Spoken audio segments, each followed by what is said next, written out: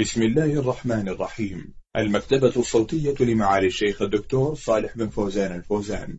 شرح كتاب المنتقى في الأحكام الشرعية من كلام خير البرية صلى الله عليه وسلم للعلامة مجد الدين بن تيمية الحراني رحمه الله. الدرس 151 بسم الله الرحمن الرحيم. الحمد لله رب العالمين والصلاة والسلام على نبينا محمد وعلى آله وأصحابه أجمعين.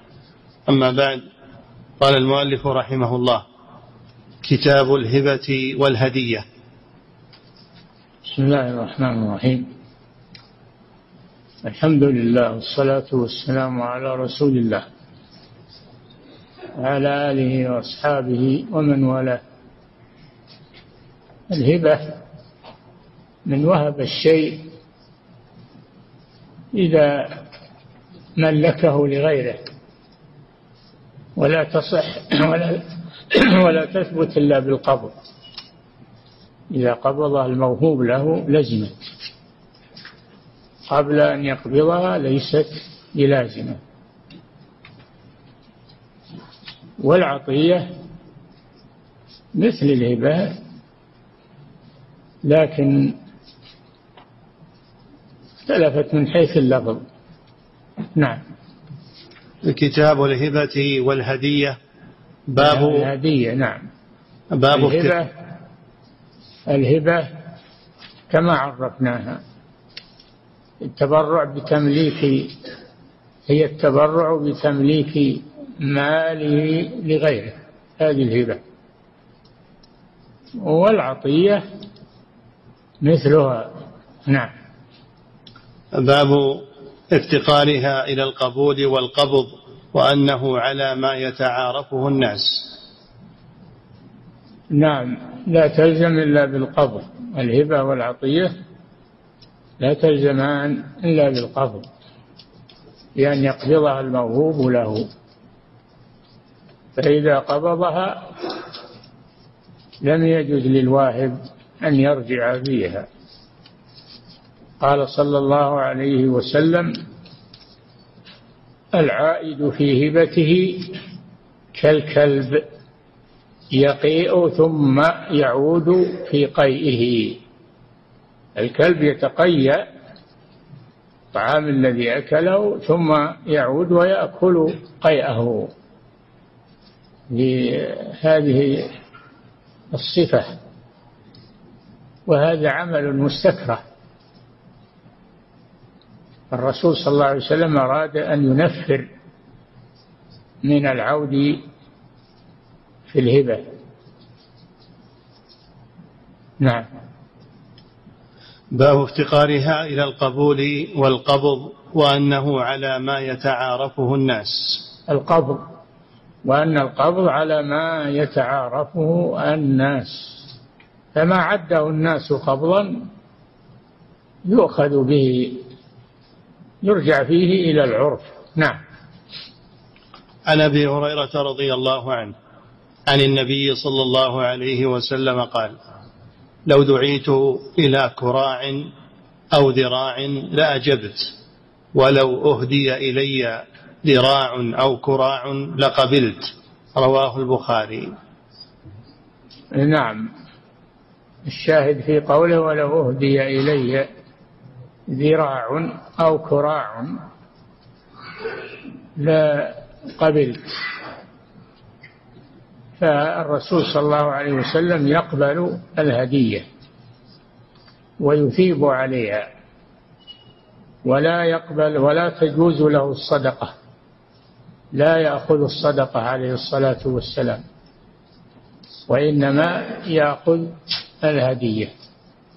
ويثيب عليها يعني يكافئ الواهب على هبته نعم. وعن أنس رضي الله عنه قال قال رسول الله صلى الله عليه وسلم لو أهدي إلي كراع لقبلت ولو دعيت عليه لأجبت. رواه أحمد والترمذي وصححه.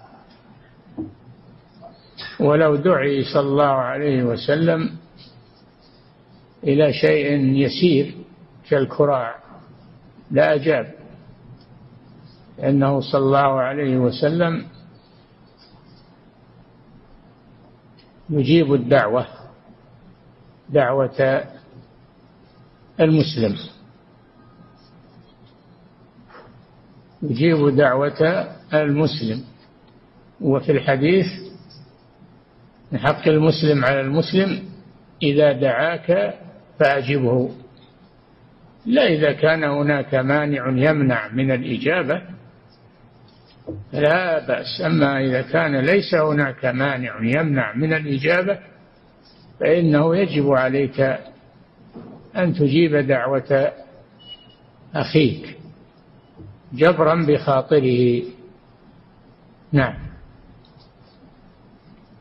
وعن خالد بن عدي أن النبي صلى الله عليه وسلم قال من جاءه من أخيه معروف من غير إشراف ولا مسألة فليقبله ولا يرده فإنما هو رزق ساقه الله إليه. رواه أحمد. نعم من جاءه من أخيه معروف من غير إشراف ولا مسألة فليقبله. ففيه أن المسلم يقبل ما يهديه إليه أخوه أو يعطيه إياه جبرا بخاطره وزرعا للمودة وفيه تواضع النبي صلى الله عليه وسلم أنه لو دعي إلى كراع لا أجاب هذا تواضعه صلى الله عليه وسلم. وفيه حسن العشرة بين المسلمين. نعم. من جاءه من أخيه معروف من غير إشراف ولا مسألة فليقبله ولا يرده فإنما هو رزق ساقه الله إليه. من غير إشراف من غير إشراف. لا ينبغي للمسلم أن يستشرف لأموال الناس أو يسألهم أموالهم. إلا عند الضرورة. السؤال لا يجوز إلا عند الحاجة أو الضرورة أما إذا كان الإنسان ليس به حاجة فلا يسأل الناس. نعم. والذي يسأل الناس جاء في الحديث أن الذي يسأل الناس من غير حاجة أنه إنما يسأل جمرا يسأل جمرا.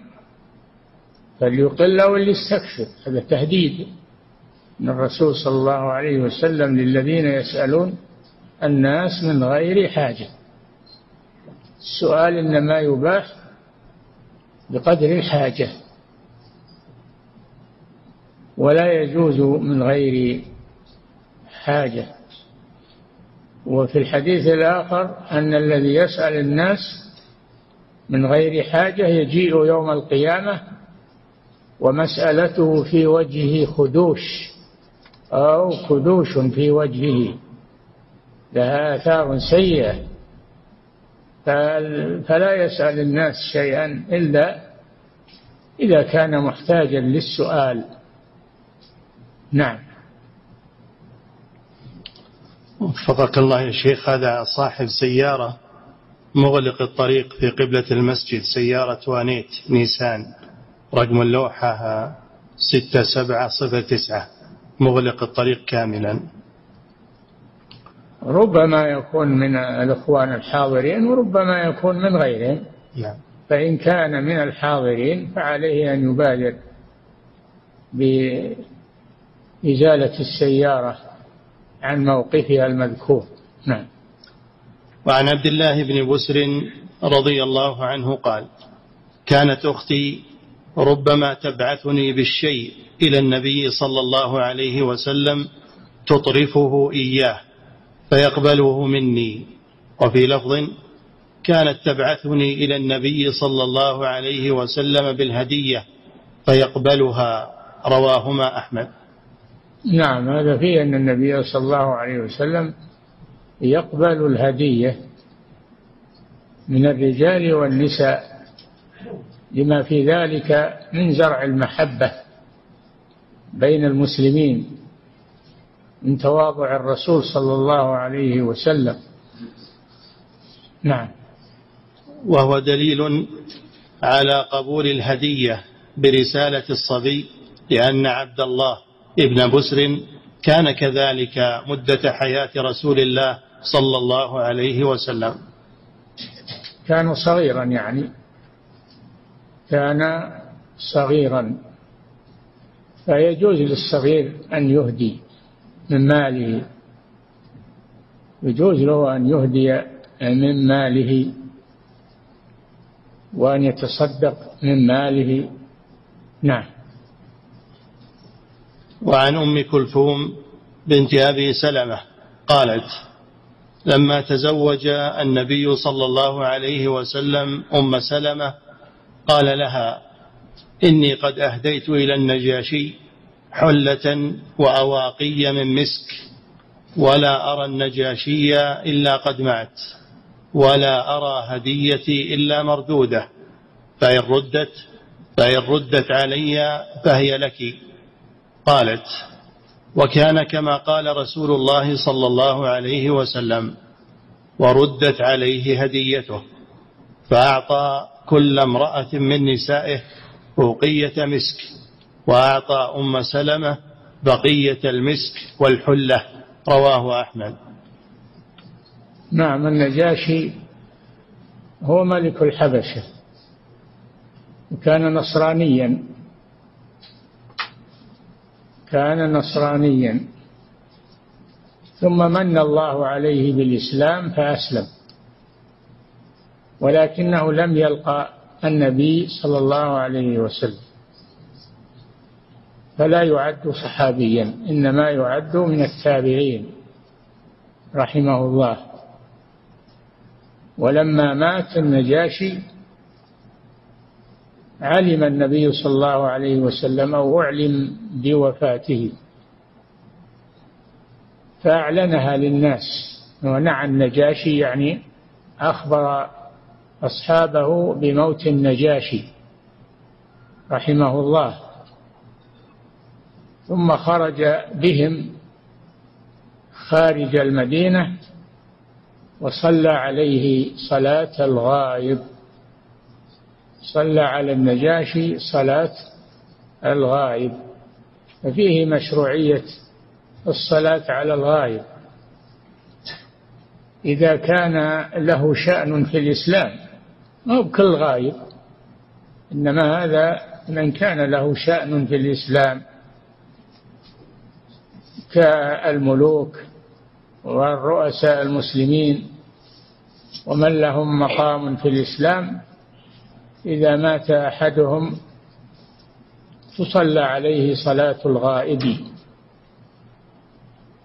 نعم. لما تزوج النبي صلى الله عليه وسلم أم سلمة قال لها إني قد أهديت إلى النجاشي حلة وأواقي من مسك ولا أرى النجاشي إلا قد مات ولا أرى هديتي إلا مردودة. فإن ردت علي فهي لك. قالت وكان كما قال رسول الله صلى الله عليه وسلم وردت عليه هديته فأعطى كل امرأة من نسائه فوقية مسك وأعطى أم سلمة بقية المسك والحلة. رواه أحمد. نعم. هذا فيه أن الزوج لا يقتصر على واحدة في العطية بل يعطي بقية أزواجه ولكن لا يلزم المساواة بينهن. نعم. وعن أنس رضي الله عنه قال اتي النبي صلى الله عليه وسلم بمال من البحرين. فقال انثروه في المسجد. وكان أكثر مال اتي به النبي صلى الله عليه وسلم. إذ جاء نعم. إذ جاءه العباس فقال يا رسول الله أعطني فإني فاديت نفسي وعقيلا. قال خذ. فحثى في ثوبه ثم ذهب يقله فلم يستطع. فقال مر بعضهم يرفعه إلي. قال لا. قال ارفعه أنت علي. قال لا. فنثر منه ثم ذهب يقله فلم يرفعه فقال مر بعضهم يرفعه يرفعه علي قال لا قال ارفعه أنت علي قال لا فنثر منه ثم احتمله على كاهله ثم انطلق فما زال النبي صلى الله عليه وسلم يتبعه بصره حتى خفي علينا عجبا من حرصه. فما قام النبي صلى الله عليه وسلم وثم منها درهم رواه البخاري. نعم. جاءه دراهم من البحرين. مال من البحرين. والبحرين هي الأحساء. البحرين هي الأحساء في ذاك الوقت. تسمى البحرين. جاءه مال منها من بني عبد القيس. بني عبد القيس. أهل الأحساء. فجاء فأعطى عمه العباس وأكثر له وكان صلى الله عليه وسلم يعطي أصحابه مما أفاء الله عليه وأعطاه الله يعطيهم وهذا من عطايا السلطان. فإذا جاءك من السلطان عطية وأنت لم تسأله ولم تستشرف لها فخذها. فإن كنت بحاجة إليها فاستنفقها وإلا وزعها على المحتاجين. هذا فيه قبول هدية السلطان. نعم. وهو دليل على جواز التفضيل في ذوي القربى وغيرهم. وترك تخميس الفيء وأنه نعم. وأن في دليل على جواز التفضيل. جواز التفضيل في العطية. فلا يلزم أن يسوي بين أصدقائه أو أقاربه في العطية. يجوز أن يفضل بعضهم على بعض. ما فضل النبي صلى الله عليه وسلم عمه. العباس. نعم. وهو دليل على جواز التفضيل في ذوي القربى وغيرهم وترك تخميس الفيء. وفيه دليل على ترك تخميس الفيء.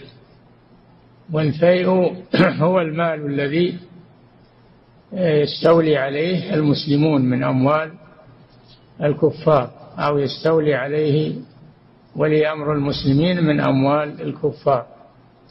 هذا فيء من فاء إذا رجع لأن المال أصله للمسلمين وهو بيد الكفار عارية. فإذا أخذه المسلمون فاء إليهم يعني رجع إليهم فسمي بالفيء. وفي دليل على عدم تخميس الفيء. المذكور في قوله تعالى واعلموا أن ما غنمتم من شيء فإن لله خمسه وللرسول ولذي القربى واليتامى والمساكين. هذا خمس الغنيمة وخمس أموال الكفار إذا استولى عليها المسلمون. يكون للرسول صلى الله عليه وسلم الخمس وقرابته والبقية توزع بين الغانمين. نعم. وترك تخميس الفيء وأنه وأنه متى لأنه لم يخمس هذا الفيء لم يأخذ منه الخمس. نعم. وأنه متى كان في الغنيمة ذو رحم لبعض الغانمين لم يعتق عليه. إذا كان في الغنيمة ذو رحم. ذو رحم من المسلمين. ذو رحم من المسلمين لم يعتق عليه. في هذه المسألة خاصة. وإلا في غيرها لا يجوز للإنسان أن يسترق قريبه. بل إذا آل إليه يعتق عليه ولا يسترق قريبه. إلا إذا جاءه في مثل هذه المسألة يعني من مع الغنيمة. نعم. وعن عائشة رضي الله عنها أن أبا بكر الصديق كان نحلها جاد عشرين وسقا من ماله بالغابة فلما حضرته الوفاة قال يا بنية إني كنت نحلتك جاد عشرين وسقا ولو كنت جددته واحترثته كان لك. وإنما هو اليوم مال وارث فاقتسموه على كتاب الله. رواه مالك في الموطأ. نعم. أبو بكر الصديق رضي الله عنه له نخل معروف في المدينة. وقد نحل ابنته عائشة مقدارا من الثمر. مقدارا من الثمر. ولكنها لم تقبضه. فلما حضرت أبا بكر الصديق رضي الله عنه الوفاة قال لو كنت قبضتيه لكن لم تقبضه اقتسموه على كتاب الله. صار لا, لا يلزم ب لا, لا يكون للموهوب له إذا لم يقبضه قبل موت الواهب. أما إذا لم يقبضه قبل موت الواهب فإنه للورثة لورثة الواهب. نعم. باب ما باب ما جاء في قبول هدايا الكفار والإهداء لهم. نعم يجوز للمسلم أن يقبل هدية الكافر. ويجوز للكافر ويجوز للمسلم أن أن يهدي للكفار. يجوز التهادي بين المسلمين والكفار. نعم. عن علي, عن علي رضي الله عنه قال أهدى كسرى لرسول الله فقبل منه وأهدى له قيصر فقبل منه وأهدت له الملوك فقبل منها. رواه أحمد والترمذي. هذا هو الدليل أن النبي صلى الله عليه وسلم كان يقبل هدايا الملوك من الكفار. كان يقبل هدايا الملوك من الكفار ويهدي إليهم أيضا. نعم. وفي حديث عن بلال المؤذن قال انطلقت حتى أتيته. يعني النبي صلى الله عليه وسلم وإذا أربع ركائب مناخات عليهن أحمالهن فاستأذنت فقال لي أبشر فقد جاءك الله بقضائك. قال ألم ترى الركائب المناخات الأربع؟ فقلت بلى. قال إن لك رقابهن وما عليهن فإن عليهن كسوة وطعاما. أهداهن إلي عظيم فدك. فاقبضهن واقض دينك. عظيم فدك سم. فدك. وأهداهن إلي عظيم فدك. يعني ملك فدك وفدك عند عند قريبة يعني من من من خيبر قريبة من خيبر وهي للنصارى. نعم. فاقبضهن واقض دينك ففعلت مختصر لأبي داود. هذا بلال المؤذن مؤذن رسول الله صلى الله عليه وسلم. فالنبي صلى الله عليه وسلم أعطاه وأجل له العطية. وبلال مستحق لذلك. فهذا فيه العطية العطية لأهل الفضل. العطية لأهل الفضل من ولي الأمر أنه يخصهم بزيادة في العطية تقديرا لهم. نعم فبلال رضي الله عنه فضله معروف في الإسلام. لذلك أجل له النبي صلى الله عليه وسلم العطية. نعم. وعن أسماء بنت أبي بكر قالت أتتني أمي, أتتني أمي راغبة في عهد قريش وهي مشركة. فسألت النبي صلى الله عليه وسلم أصلها؟ قال نعم متفق عليه. زاد البخاري قال ابن عيينة فأنزل الله فيها لا ينهاكم الله عن الذين لم يقاتلوكم في الدين. نعم أعد. وعن أسماء بنت أبي بكر رضي الله أسماء بنت أبي بكر الصديق زوج الزبير بن العوام وأم عبد الله بن الزبير رضي الله عنه. نعم. قالت وهي, أخت عائشة. هي أخت عائشة. نعم. قالت أتتني أمي راغبة. أتتني؟ تقول تقول أسماء. أتتها أمها راغبة يعني تلتمس العطية منها من ابنتها. راغبة يعني تلتمس العطية من ابنتها. زوجة النبي صلى الله زوجة الزبير بن العوام. نعم. أتتني, أم أتتني أمي راغبة في عهد قريش وهي مشركة. نعم. فسألت النبي صلى الله عليه وسلم أصلها؟ قال نعم متفق عليه. نعم هذا هذا محل الشاهد من الحديث أن النبي صلى الله عليه وسلم أذن لها أن تصل أمها الكافرة. دل على أن المسلم يصل الكافر ويعطيه ويهدي إليه.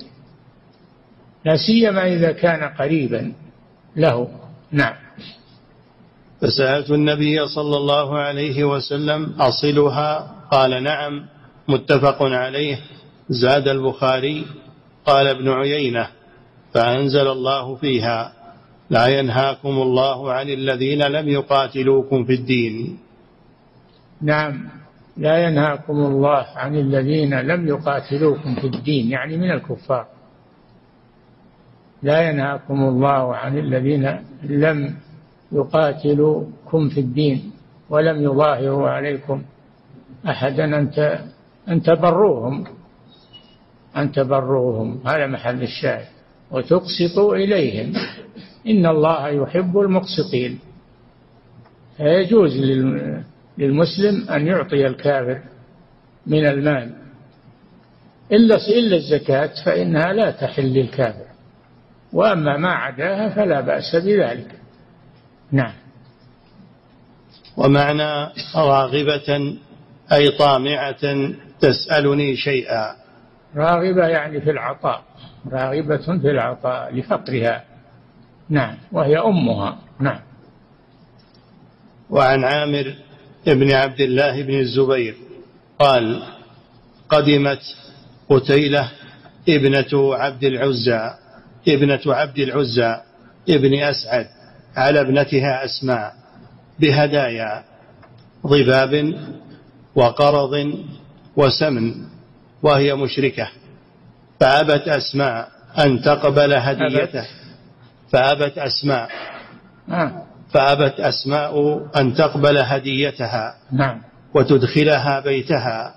نعم. فسألت عائشة النبي صلى الله عليه وسلم فأنزل الله تعالى لا ينهاكم الله عن الذين لم يقاتلوكم في الدين ولم يخرجوكم من دياركم أن تبروهم إلى آخر الآية. فأمرها أن تقبل هديتها وأن تدخلها بيتها رواه أحمد. لا ينهاكم الله عن الذين لم يقاتلوكم في الدين يعني من الكفار. أن تبروهم تقسطوا إليهم إن الله يحب المقسطين نعم.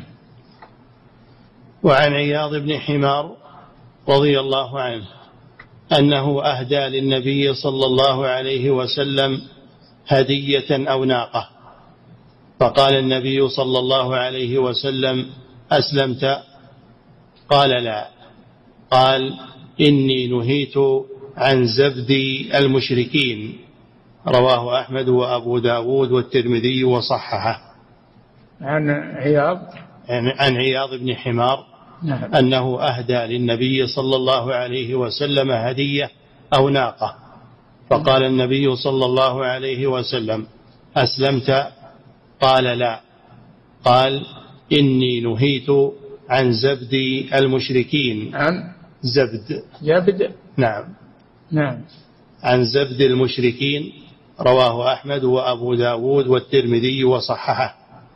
شوف شرحها. في النهاية الزبد الرفد والعطاء. نعم. نعم هذا يدل على أن أنه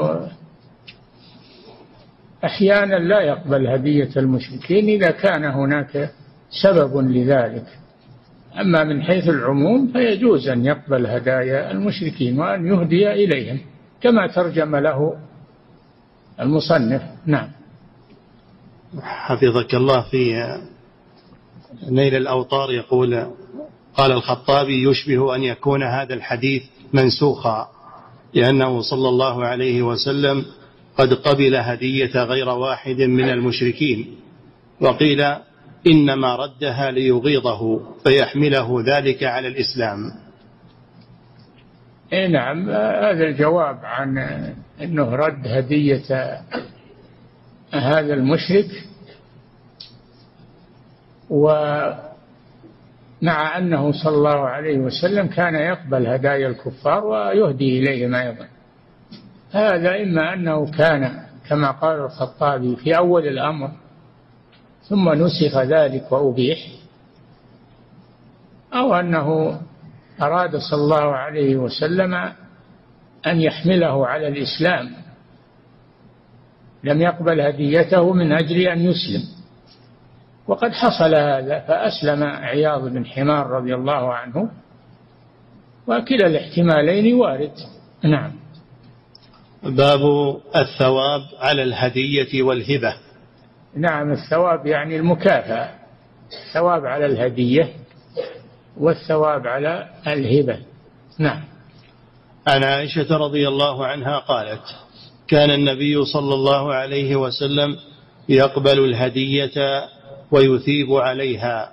رواه أحمد والبخاري وأبو داود والترمذي. كان صلى الله عليه وسلم هذا من أخلاقه صلى الله عليه وسلم أنه يقبل الهدية. ويثيب عليها يعني يكافئ عليها يكافئ على الهدية. نعم. وعن ابن عباس رضي الله عنهما أن أعرابيا وهب النبي صلى الله عليه وسلم هبة فأثابه عليها. قال رضيت؟ قال لا. فزاده. قال أرضيت؟ قال لا. فزاده. قال أرضيت؟ قال نعم. فقال النبي صلى الله عليه وسلم لقد هممت أن لا أتهب هبة إلا من قرشي أو أنصاري أو ثقفي. رواه أحمد. اي نعم لأن هؤلاء لا يتطلعون إلى إلى الثواب على الهدية. لا يتطلعون إلى الثواب على الهدية لكرم أخلاقهم. ولكن الحديث فيه أنه يثاب على الهدية. نعم. باب التعديل بين الأولاد في العطية والنهي أن يرجع أحد في عطيته غير الوالد. نعم. الوالد لا يخص بعض الأولاد بالعطية. لا بد أن يسوي بينهم.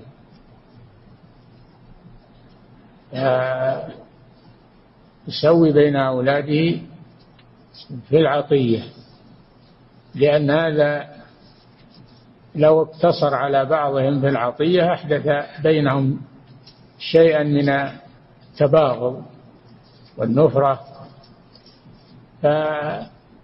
فالإسلام يحرص على جمع الكلمة و وتآلف تواصل بين الأقارب.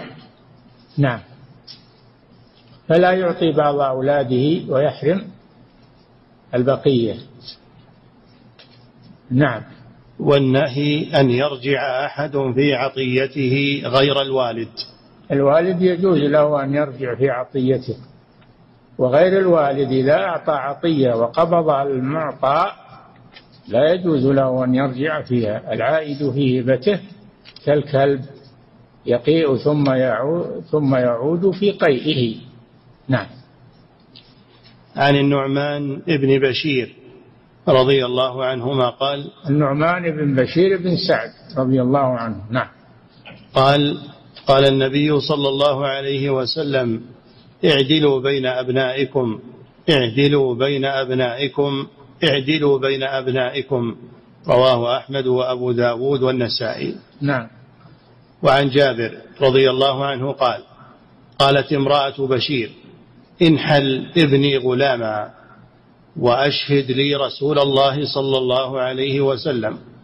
فأتى رسول الله صلى الله عليه وسلم فقال إن ابنة فلان سألتني أن أنحل ابنها غلامي. فقال له إخوة قال نعم. قال فكلهم أعطيت مثل ما أعطيت؟ قال لا. قال فليس يصلح هذا وإني لا أشهد إلا على حق. رواه أحمد ومسلم وأبو داود ورواه أحمد من حديث النعمان بن بشير وقال فيه لا تشهدني على جور. إن لبنيك عليك من الحق أن تعدل بينهم. نعم العطية لا يخصص الوالد بعض أولاده. يعطيه ويحرم البقية لا بد من التسوية. بدليل هذا الحديث بدليل هذا الحديث أن النبي صلى الله عليه وسلم لما جاءه هذا الرجل الذي أعطى بعض أولاده عطية وجاء ليشهده عليها طلبت امرأته أن يشهد الرسول صلى الله عليه وسلم عليها. فقال كل ولدك أعطيت مثل هذا؟ قال لا. قال اتقوا الله واعدلوا بين أولادكم. أشهد على هذا غيري فإني لا أشهد على جور. هذا جور. تخصيص بعض الأولاد دون بعض هذا جور. نعم. لا تشهدني على جور. إن لبنيك عليك من الحق أن تعدل بينهم. وعن النعمان ابن بشير أن أباه أتى به رسول الله صلى الله عليه وسلم فقال إني نحلت ابني هذا غلاما كان لي. فقال رسول الله صلى الله عليه وسلم أكل ولدك نحلته مثل هذا؟ فقال لا. فقال فأرجعه. متفق عليه.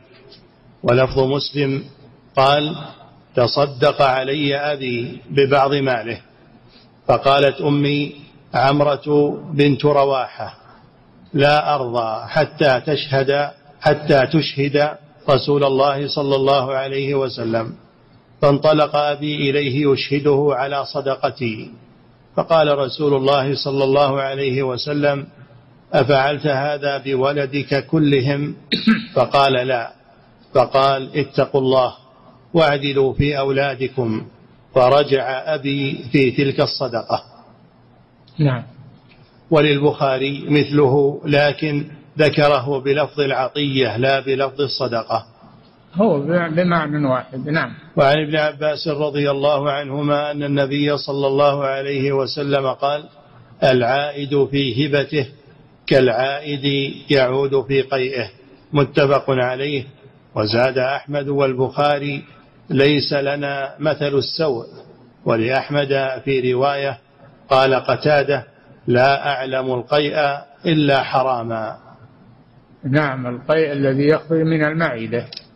عن طريق الفم الذي يخرج من المعدة عن طريق الفم. هذا لا يجوز تناوله مرة ثانية حرام لأنه خارج من المعدة وهو من المستخبثات. لا يجوز لأحد أن يعود فيه وأن يأكله إلا الكلب هو الذي يفعل هذا. نعم.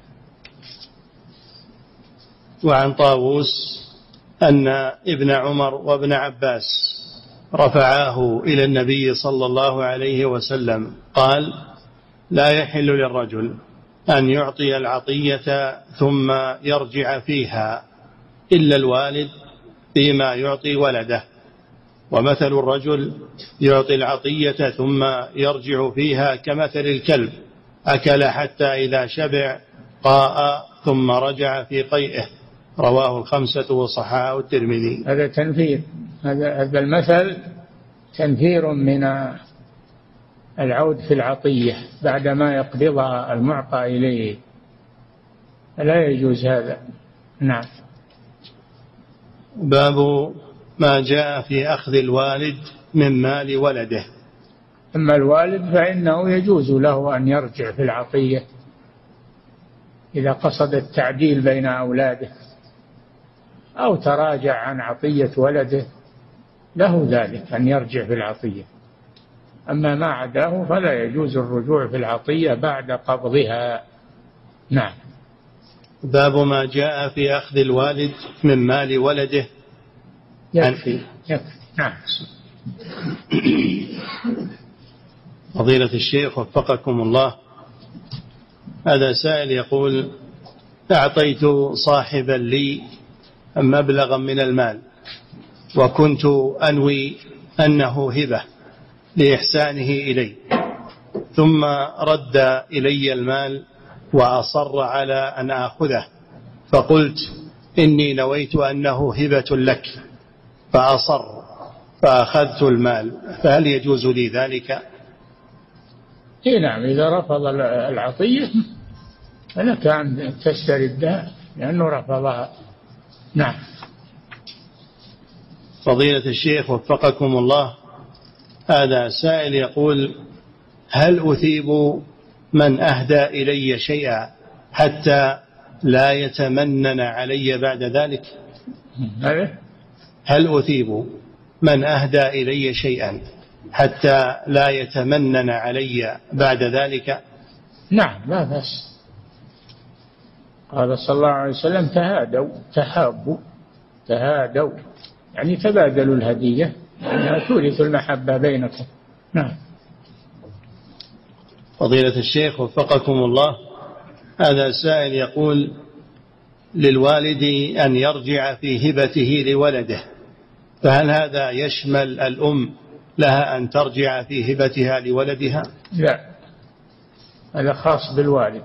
نعم. فضيلة الشيخ وفقكم الله. هذا سائل يقول ما حكم رد الهدية من الطلاب إذا أعطوني علما أنهم يعطونها إيانا ويقولون إننا لا نقصد شيئا وإنما هي من باب من باب المحبة للمعلم لا يجوز للمعلم أن يأخذ من الطلاب هدايا. لا يجوز له ذلك لأن هذا يحمله على الحيف مع الذين أعطوه. يحيف معهم في تصحيح أجوبتهم ويزيدهم في الدرجات. فلا يجوز له ذلك. يسد الباب هذا. نعم. فضيلة الشيخ وفقكم الله هذا سائل يقول في الحديث الذي مر يعتبر هذا يعتبر من الرشوة. إعطاء المدرس من الطالب هذا يعتبر من الرشوة. نعم. فضيلة الشيخ وفقكم الله وهذا أيضا سائل يقول هل يجوز لمعلم القرآن الذي في الحلقة إذا كان لا يتقاضى إلا مكافأة من مكافأة شهرية هل له أن يقبل الهدية من بعض طلابه في الحلقة؟ هذا ما قلنا لا يجوز له ذلك. ما دام له مكافأة لا يجوز له أن يأخذ هدايا الطلاب. نعم. فضيلة الشيخ وفقكم الله في الحديث الذي مر معنا وهو قول رسول الله صلى الله عليه وسلم من جاءه من أخيه معروف من غير إشراف ولا مسألة فليقبله ولا يرده. قوله ولا يرده. هل النهي هنا للتحريم؟ أي هو ظاهر الأصل في النهي أنه للتحريم. ظاهر النهي أنه للتحريم إلا إذا دل دليل على أنه للتنزيه لكراهة التنزيه. نعم. فضيلة الشيخ وفقكم الله في حديث أم في حديث أم سلمة رضي الله عنها قالت فأعطى رسول الله صلى الله عليه وسلم كل امرأة من نسائه أوقية مسك وأعطى أم سلمة بقية المسك والحلة.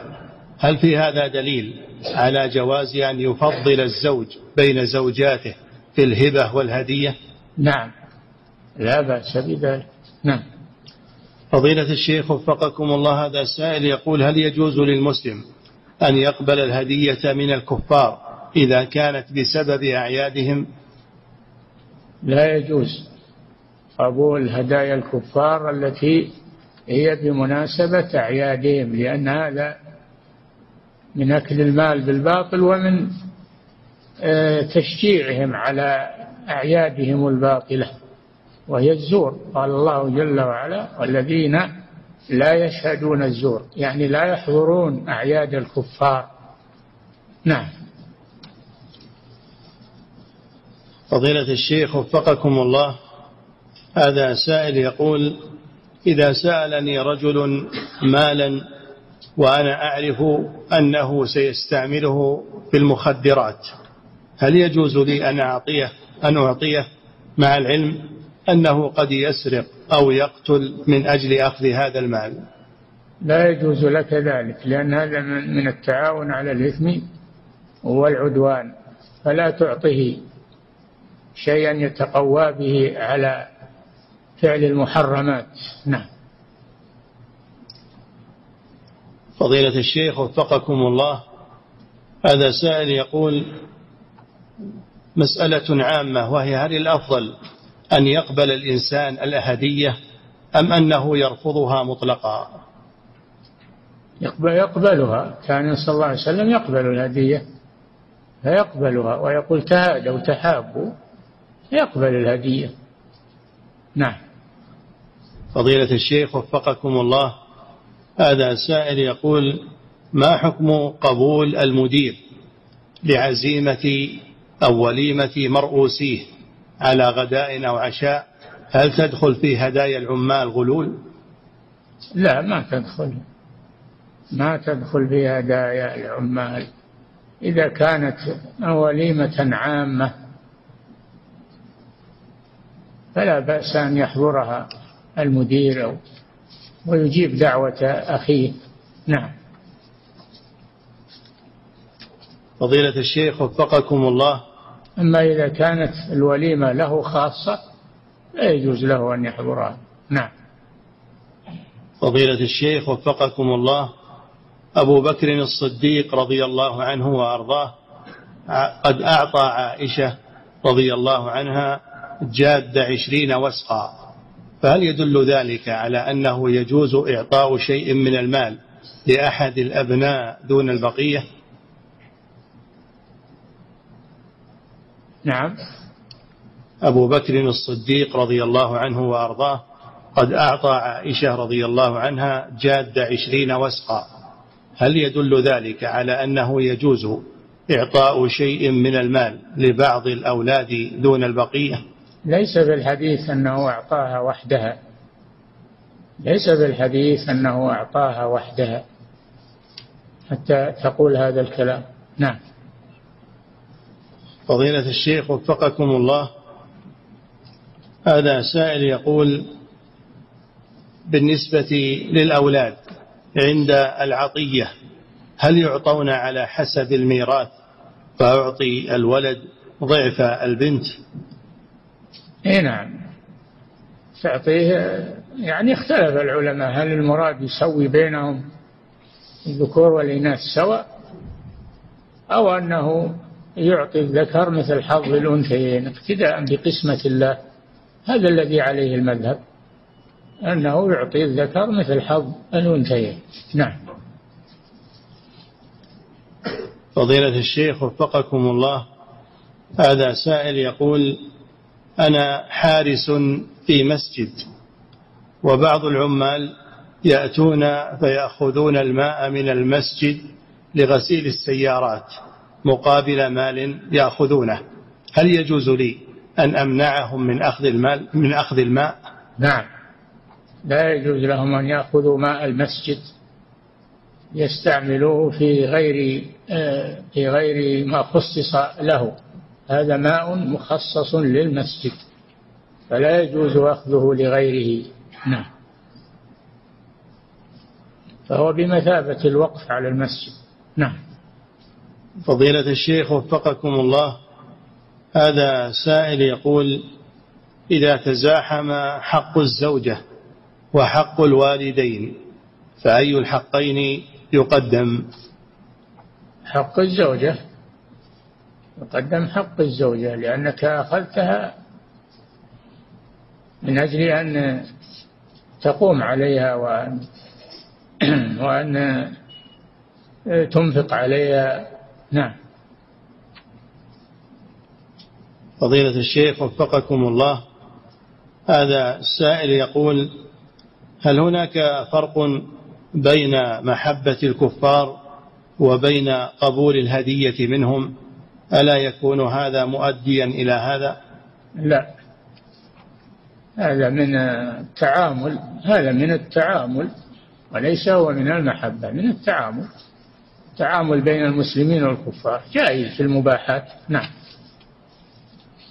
فضيلة الشيخ وفقكم الله هذا سائل من خارج هذه البلاد يقول من عادة القوم في بلادنا أنهم يهدون الغلام الصغير الذكر يهدونه خاتما من ذهب.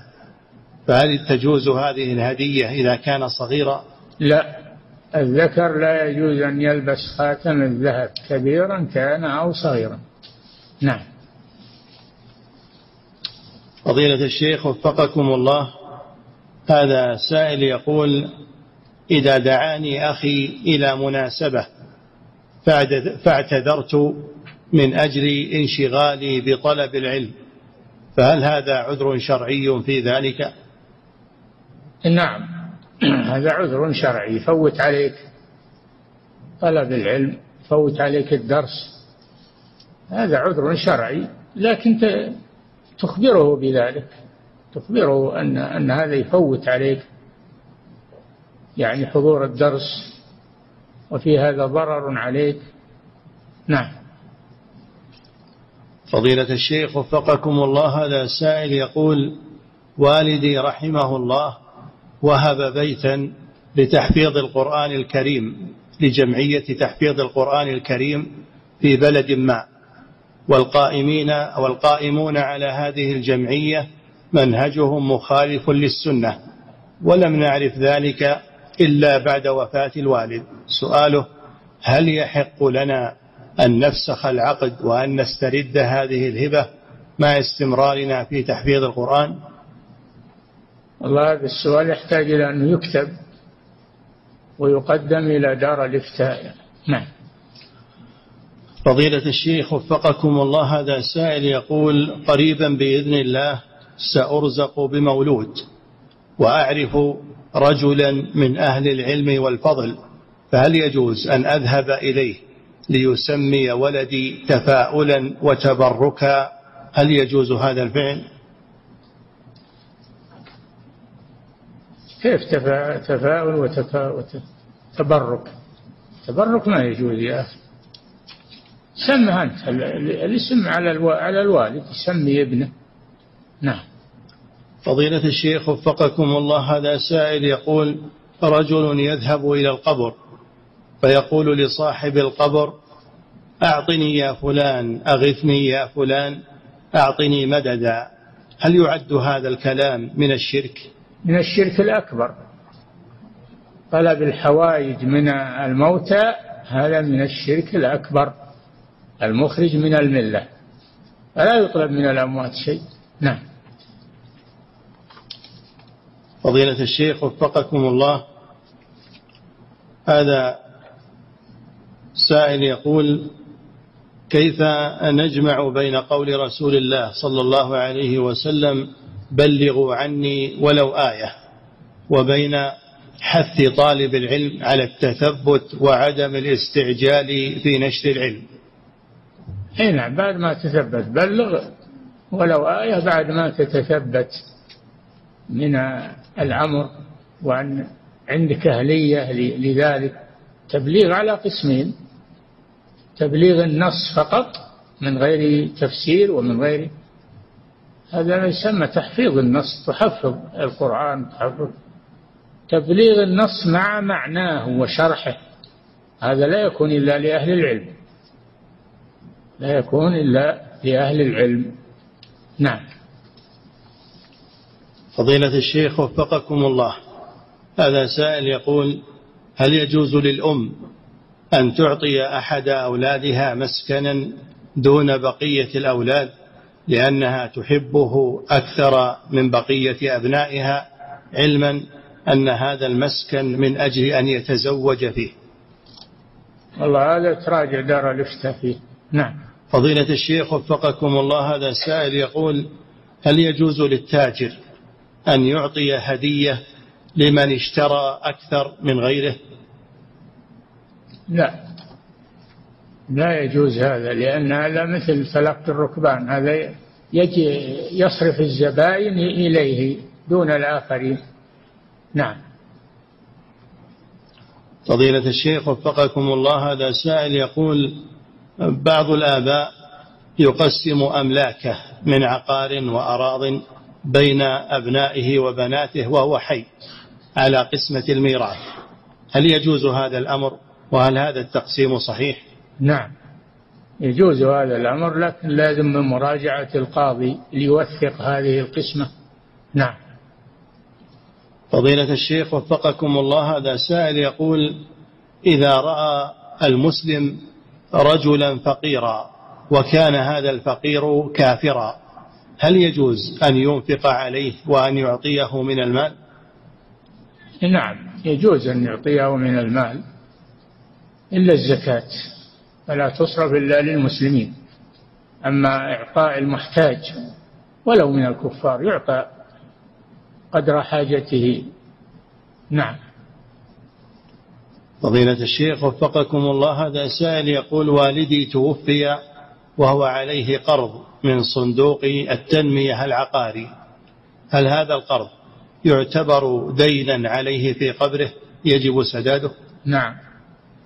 لكن اللي يعرفه أن أو سمعت أنهم يعفون يعفون الميت إذا مات. يعفونه من دين القرض إذا كان للبنك. نعم. فضيلة الشيخ وفقكم الله. هذا سائل يقول صليت في مسجد وبعد الصلاة أعلن الإمام أنهم سيصلون صلاة الغائب على والد العامل الذي يعمل حارسا في المسجد وقد توفي في بلده فصليت معهم. فهل هذا الأمر مشروع؟ لا هو مشروع. لا يصلى على الغائب إلا إذا كان له شأن في الإسلام. كالعلماء والأمراء. أما العادي ما يصلى عليه صلاة الغائب. نعم وأيضا ما يصلى على الغائب إلا بفتوى من دار الإفتاء. ما يصلى على غائب إلا بفتوى من دار الإفتاء. نعم ما هو بكل إمام يصلي على الغائب بدون صدور فتوى بذلك. نعم. فضيلة الشيخ وفقكم الله رجل أوصى ابنته أنه إذا مات فإنها تجلس عند قبره بعد دفنه ساعة أو ساعتين وقت سؤال الملكين فهل لها أن تعمل بهذه الوصية طاعة؟ هذه وصية باطلة. المرأة لا تجلس عند القبر ولا تزور القبور. هذا خاص بالرجال إذا دفنوه يقفون على قبره ويسألون له التثبيت كما قال صلى الله عليه وسلم استغفروا لأخيكم واسألوا له التثبيت فإنه الآن يسأل. هذا خاص بالرجال. الله جل وعلا قال في المنافقين في المنافق ولا تقم على قبره. يعني بعد الدفن. ما يقوم الرسول على قبر المنافق. أما المسلم فيقف على قبره ويدعو له ويسأل له التثبيت نعم. فضيلة الشيخ وفقكم الله. هذا سائل يقول هل يجوز للواهب أن يرجع أن يرجع في هبته قبل أن يقبضها الموهوب له؟ إيه نعم. قبل أن يقبضها يجوز له يرجع فيها. أما إذا قبضها فلا يجوز. نعم. فضيلة الشيخ فضيلة الشيخ وفقكم الله. هذا سائل يقول هل لا بد أن أساوي بين أولادي في العطية؟ حتى ولو كان الذي أعطيته إنما أعطيته لحاجة والثاني ليس له حاجة في ذلك؟ لا الحاجة لا. تعطي المحتاج من الأولاد ولا تعطي الغني منهم ما تعطيه لأنه ليس بحاجة إلى العطية. نعم. فضيلة الشيخ وفقكم الله وهذا سؤال قريب منه. يقول إذا كان أحد أولادي محتاجا إلى زواج وأعطيته مساعدة له في المهر فهل يلزم أن أعطي بقية الأولاد كذلك؟ من أراد منهم أن يتزوج وهو فقير فأعطه أما الغني فلا تعطيه. نعم. فضيلة الشيخ وفقكم الله هذا سائل يقول ما حكم إلصاق الرجل قدمه ومنكبه بقدم ومنكب صاحبه في الصف أثناء الصلاة؟ هذا يختلف.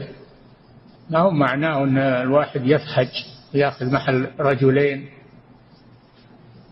والثاني مثله يفحج هذا لا يجوز لكن يتقاربون ولا يكون بينهم فرج ولا يكون بينهم فتحات بين الرجلين.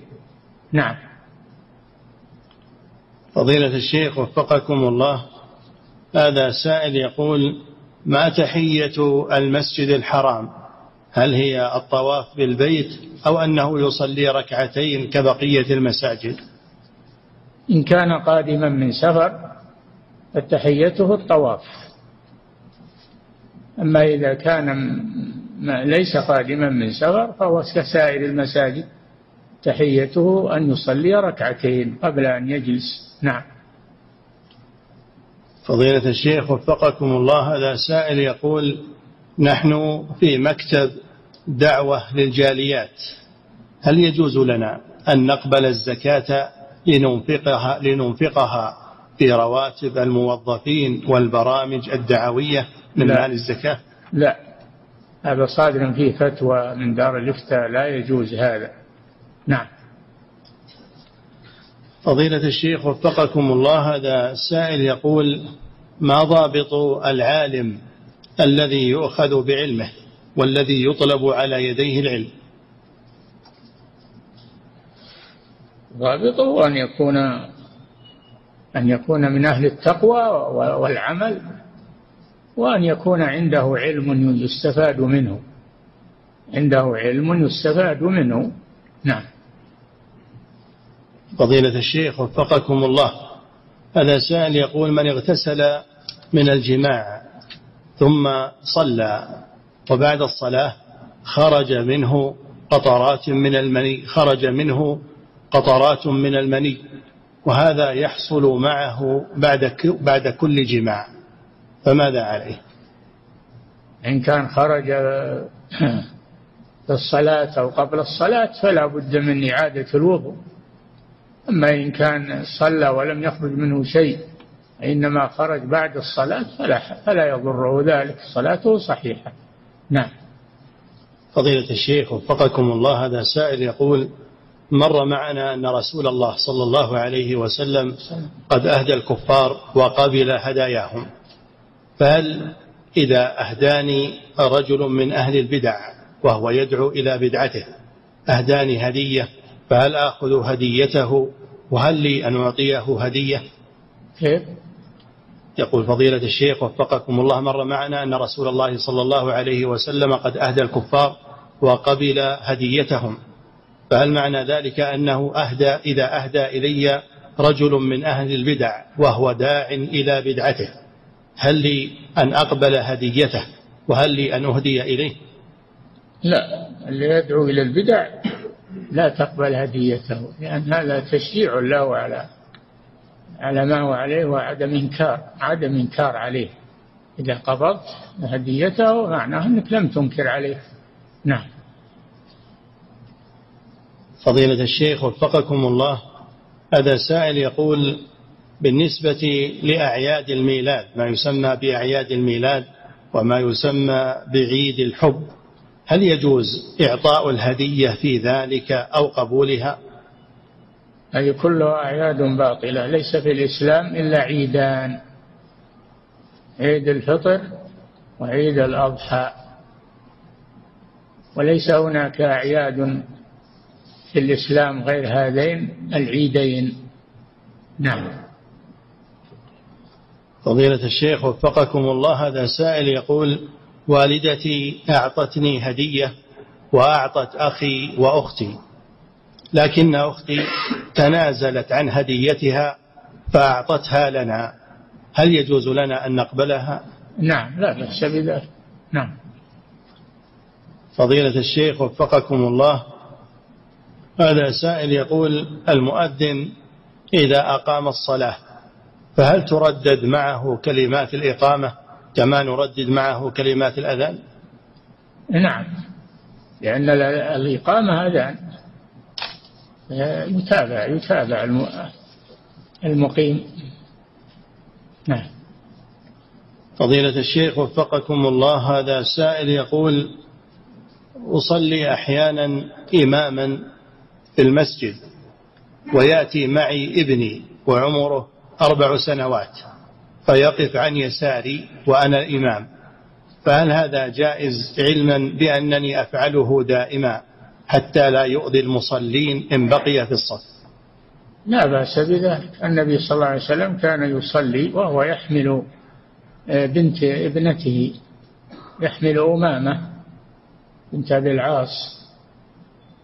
إذا قام رفعها وإذا سجد وضعها لا بأس بذلك. نعم.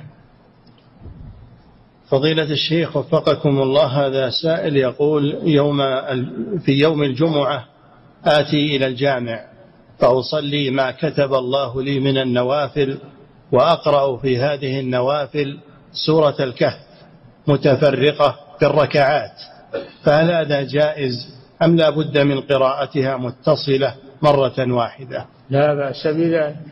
تقرأها في الصلاة أو تقرأها خارج الصلاة؟ لا بأس بذلك. نعم. فضيلة الشيخ وفقكم الله هذا سائل يقول هل من السنة أن يقرأ الرجل في قيام الليل سورة البقرة والنساء وآل عمران في ركعة واحدة أو في صلاة واحدة كما فعل رسول الله صلى الله عليه وسلم؟ نعم. شيء طيب إذا عمل هذا اقتداء بالرسول صلى الله عليه وسلم لا بأس بذلك. عثمان رضي الله عنه قرأ القرآن كله في ركعة واحدة. نعم. فضيلة الشيخ وفقكم الله. هذا سائل يقول هل من السنة أن يضطجع الإنسان بعد راتبة الفجر؟ ها؟ هل من السنة أن يضطجع الإنسان بعد راتبة الفجر؟ هذا لمن كان يقوم الليل مثل الرسول صلى الله عليه وسلم. أما اللي ما قام من الليل ما له داعي ولا سبب. نعم. فضيلة الشيخ وفقكم الله هذا سائل يقول هل يشرع للمسلم أن يعتمر في شهر شوال أو في ذي القعدة ثم يمكث في مكة ثم يحرم يوم الثامن لأجل الحج؟ وهل يعتبر هذا من التمتع؟ إيش؟ هل يشرع أن يعتمر الإنسان في شوال أو في ذي القعدة ثم يمكث في مكة ثم بعد ذلك يحرم يوم الثامن لأجل الحج؟ نعم. إذا أحرم بالعمرة في أشهر الحج وبقي ولم يسافر بعد العمرة ينتظر الحج فهو متمتع. نعم. فضيلة الشيخ وفقكم الله إذا كان الرجل خارج البيت مع زوجته وقد أذن المؤذن ولا يأمن أن يتركها لوحدها هل يجب عليه أن يذهب إلى المسجد أو أنه يمكن أن يصلي في مكانه عند زوجته؟ المسجد فيه نساء. يدخل المسجد يجعلها مع النساء أو في مكان النساء. نعم. فضيلة الشيخ وفقكم الله. هذا سائل يقول ما حكم سفر المرأة بدون محرم إذا كان السفر قصيرا وليس طويلا؟ لا يجوز السفر ما يسمى سفرا لا يجوز إلا بمحرم. لا يحل لامرأة تؤمن بالله واليوم الآخر أن تسافر إلا ومعها ذو محرم. في رواية ثلاثة أيام في رواية يومين في رواية مطلقا أن تسافر إلا ومعها ذو محرم. نعم. فضيلة الشيخ وفقكم الله هذا سائل يقول ما حكم دعاء الغائب سواء كان من الجن أو من غيرهم؟ أه؟ يقول ما حكم دعاء الغائب سواء كان من الجن أو من غيرهم. دعاء الغائب. الغائب نعم. لا يجوز دعاء الغائب. لا يجوز دعاء الغائب لا الجن ولا غيرهم. إيش الفائدة من دعاء الغائب؟ نعم. فضيلة الشيخ وفقكم الله هذا سائل يقول سائل من فرنسا يقول لدي مطعم في فرنسا فهل يجوز لي أن أبيع الأكل على الكفار في نهار رمضان؟ لا. لا تفتح المطعم في نهار رمضان. المسلم لا يفتح المطعم في نهار رمضان ولو كان في بلاد الكفار. نعم. فضيلة الشيخ وفقكم الله هذا أيضا سائل من بريطانيا يقول هل يجوز لي أن أعمل كوسيط بين شركات التأمين وبين السائقين؟ التأمين ما هو مشروع هذا. التأمين التجاري ما هو مشروع. لا يجوز هذا. ولا تكون وسيطا فيه. نعم. فضيلة الشيخ وفقكم الله هذا سائل يقول لما مات النجاشي خرج النبي صلى الله عليه وسلم خارج المدينة للصلاة عليه. يقول لماذا خرج عليه الصلاة والسلام خارج المدينة؟ ولم يصلي عليه في المسجد. لأجل الإعلان لأجل الإعلان عن موته. نعم. فضيلة الشيخ وفقكم الله هذا سائل يقول هل رفع الصوت بالأذكار بعد الصلوات المكتوبة هو من السنة المشروعة؟ نعم. قل ابن عباس رضي الله عنه كنا نعرف انصراف النبي صلى الله عليه وسلم من الصلاة إذا سمعنا الذكر. كان صبيا صغيرا في عهد الرسول صلى الله عليه وسلم. نعم. فضيلة الشيخ وفقكم الله هذا سائل يقول في قول الله عز وجل الرجال قوامون على النساء بما فضل الله بعضهم على بعض وبما أنفقوا من أموالهم. يقول ما المقصود بالقوامة على النساء وما حدها؟ القوامة عليها بالمحافظة عليها من الوقوع في ما لا يجوز من المحافظة عليها بالستر والاحتشام والاحتجاب المحافظة عليها من أذى الفساق. نعم. فضيلة الشيخ وفقكم الله هذا سائل من خارج هذه البلاد يقول إذا ماتت المرأة في بلدنا فإنه بعد تغسيلها يقومون بوضع الحناء بوضع الحناء على يديها وقدميها. هل هذا أمر مشروع؟ لا. هذا ليس مشروعا. نعم. ما تزين المرأة الميتة ما تزين هذا من التزيين والتحسين. نعم. فضيلة الشيخ وفقكم الله هذا سائل يقول من ذهب إلى مكة ولا يريد العمرة. ثم بعد ذلك بدا له أن يعتمر فمن أين يحرم؟ إذا كان من حيث نوى العمرة يحرم من حيث نوى العمرة. قوله صلى الله عليه وسلم لما حدد المواقيت قال هن لهن ولمن أتى عليهن من غير أهلهن ممن يريد الحج أو العمرة. ومن كان دون ذلك فمهله من أهله. مهله من أهله. من كان دون المواقيت أو ما نوى العمرة إلا بعد ما تعد المواقيت فإنه يحرم من المكان الذي نوى منه. نعم. فضيلة الشيخ وفقكم الله. هذا سائل يقول إذا ذكر النبي صلى الله عليه وسلم في مجلس عدة مرات فهل تجب الصلاة عليه عند ذكره في كل مرة أم أنها تكفي صلاة واحدة؟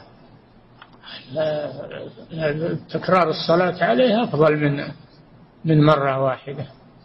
تكرار الصلاة عليه كل ما مر ذكره أفضل من الاقتصار على واحدة. نعم. فضيلة الشيخ وفقكم الله. هذا سائل يقول من رأى منكرا من المنكرات لكن ليس لديه القدرة على تغيير هذا المنكر فما الواجب عليه وبماذا تبرأ ذمته؟ إذا كان ما عنده قدرة من لم يستطع فإنه بقلبه ينكر المنكر بقلبه ويفارق المكان الذي فيه المنكرات.